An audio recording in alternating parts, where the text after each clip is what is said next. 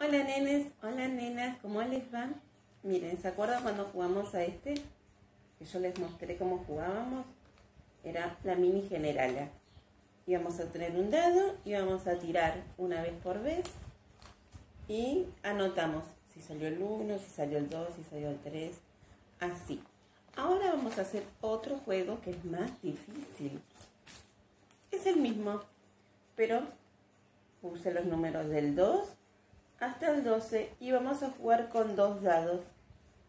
¿Empezamos? Miren, vamos a tirar una vez. Y vamos a contar. Acá ahí está el, el 3. Y acá qué número es, miren. ¿Contamos? 1, 2, 3, 4, 5. Y acá 3 más. 5, 6, 7, 8. Entonces, esto suma 8. Voy a buscar el 8 por acá, está acá, y lo voy a anotar. Es el turno de otra persona. Y así van a jugar hasta que completen todo el casillero. El primero que lo completa es el ganador. Espero que les guste. Jueguen, ¿eh?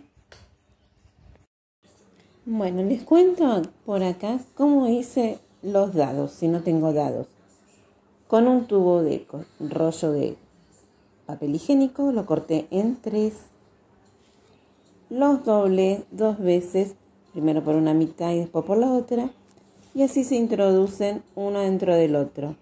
Para que queden fuertes pueden poner los tres tubitos, los tres cortes. Dibujan constelaciones que son los puntitos o números.